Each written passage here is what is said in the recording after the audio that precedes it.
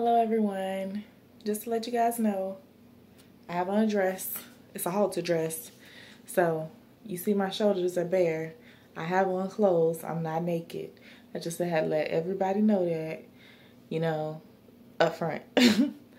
okay, so I have a new book coming out.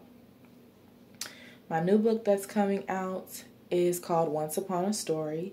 It's a collection of erotic short stories in a fairy tale form, but in an urban street lit form as well. So it's modern day, but with fairy tale character names. And that's pretty much it. They got the fairy tale character names that I chose, and they are in an urban setting, an urban fiction, street lit setting. Now, some of these places that they're in, they're in um, I'm sorry that they're in.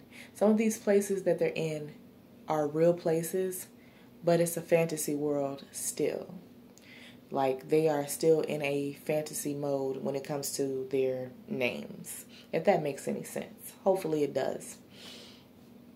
Um, let me see. Okay, so if you don't know who I am, I'm authoress Shantina Henderson. I have plenty of books on Amazon.com. Now, when you look me up on www.amazon.com, you're going to look me up under Shantina Henderson.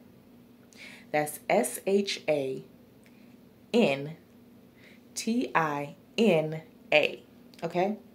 I emphasize on the N because people usually get my name wrong, and that's the reason why. That's the first name, the last name H E N D E R S O N. That's the last name, okay? The last name is easier than the first name. But I'm going to spell the first name one more time for you guys that just didn't remember. S H A N T I N A. Thank you. Shantina. Not Shantia, not Shantae, not Shantae. Just don't do it. Not Shatina. Don't do any of that to my name.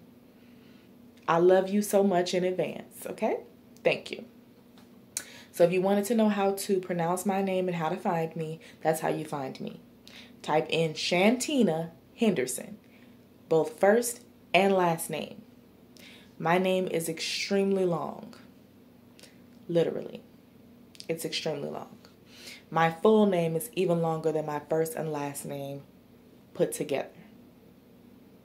I actually sat down and counted one day, so I know that my name is extremely long. So, the series that I have up right now that are urban fiction and street lit novels, they are um, my Caught Up in the Game series, which I'm running out of time on this video, so I don't have time to tell you each and every book. Just go to Amazon.com and you'll find the books yourself. Okay? I'm not saying that out of rudeness, I'm saying that out of kindness because I would hate for the video to cut off and you'd be like, wait, wait, wait, wait. What did she say? What was the last thing she said? Sorry. I don't want to do that to you.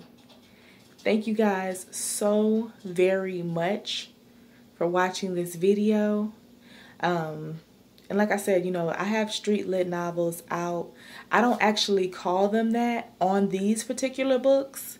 I have another um, series called the Karma series. You need to check that one out as well. The Lying Game and the Truth Game. The Truth Game is coming this year in 2020. The Lying Game has been out, I want to say, for about two or three years now. So thank you guys once again so much for watching this video. Don't forget to like, comment, subscribe to the channel. Don't forget to hit that bell so you can get every notification for every uh, video that I'm going to do and all of my new content. Thank you guys so much and have a great rest of your day. Bye.